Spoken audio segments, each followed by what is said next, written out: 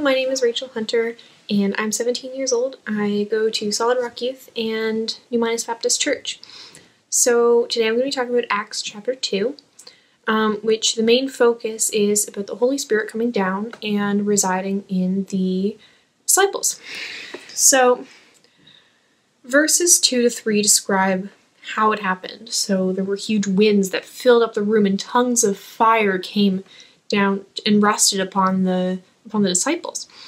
Reading about this now, I'm thinking, wow, that's really cool, but if I was there, that would be terrifying. I would have been out of there. It's so amazing how God shows this power that he has through this this event. Like it's pretty crazy.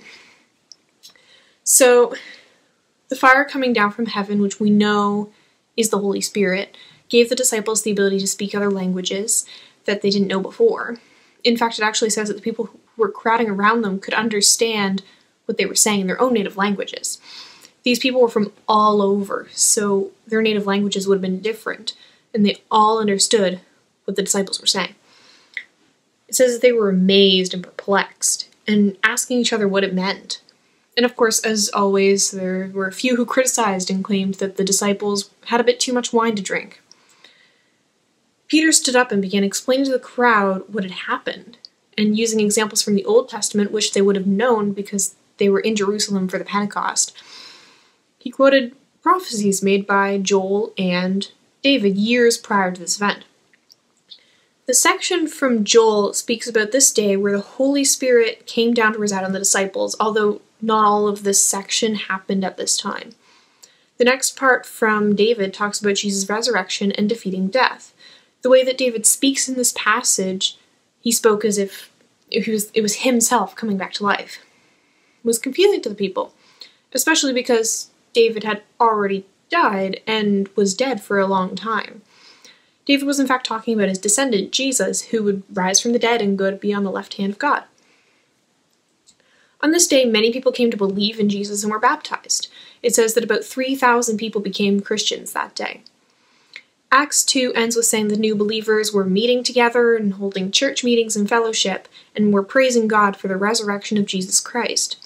I do feel like it's important to point out that the first Christians didn't reject Judaism. They became they became Christians because the teachings and resurrection of Jesus completed and fulfilled what they had already believed.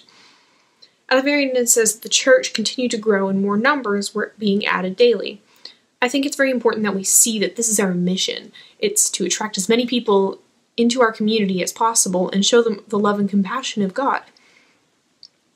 So I am going to end in a little prayer and then you can be on your way. Let's pray. Dear Heavenly Father, thank you so much for this day, Lord. Thank you. It's Easter. it's the Easter season. I know it's pretty well done now, but there's still that hope, Lord. We know what you have done for us, Lord.